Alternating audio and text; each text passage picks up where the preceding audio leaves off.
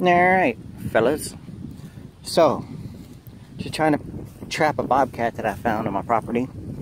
Uh, didn't want to spend, you know, 100 bucks, 200 bucks, $300 on a trap. So I had the bright idea of building out of pallets. Got some free pallets for my work. Tried it, I did. I used everything free just hanging around my house that I had.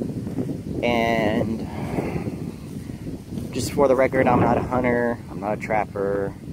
This is the first time I've done anything like this. Probably tell. But it was fun. Something to do. Drink some beer, have some fun. So here we go. Alrighty. So, the first thing I want to show you is the trap door. Basically, um, this is my kind of little guide. I've seen some on the internet that have guides. Excuse me. and um, I didn't have enough wood to do four of them. So basically I just have one. I like to put one here and here, and then, you know, two on this side too to kind of keep all the way down to keep it nice and straight. But it, it works.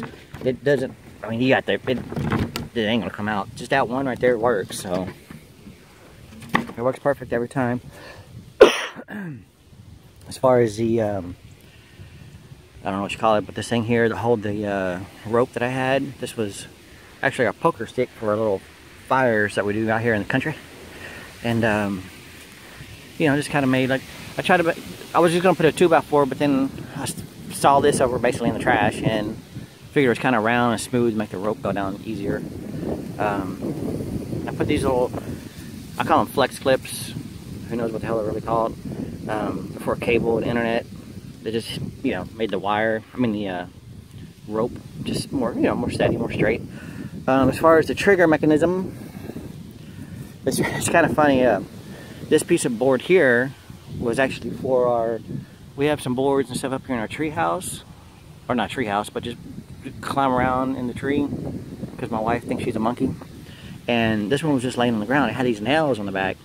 I had no intention of using these nails. I was going to use all this real fancy stuff that I saw some people using uh, on the internet, these little trigger sticks and stuff with little notches. But this ended up actually working perfect, which I, I do. Just, I just tried it randomly. Just I, you put it right there on the uh, this piece of wood, and I put those on there just to keep it keep it tight because you know I'm too lazy to do anything else. And I got a chicken leg down there, which you know, not sure if bobcats like chicken legs, but um, also I'll put some bobcat um, gland scent. You can see I drip some there in the back. And I, you know, just kind of drip some on the leaves and stuff back there. Towards the back of the trap. um, haven't got anything yet. We did set it up last night, but it was really, really, really windy and kind of kind of raining off and on. It's just it's just a bad night, so I'm trying it again tonight. And anyway, so you know they tripped the food down here. You just barely touch it, and there it goes. Just like that. Try it one more time because that one was kind of shady. Alright. Yes, do it right here. So just like that, you get the food down there. And they just barely, you know, just kind of trip it. And there it goes. Perfect every time. And uh, I probably don't even need this whole stick. I probably just need this top part, but you know, I'll fix it maybe some other day or something.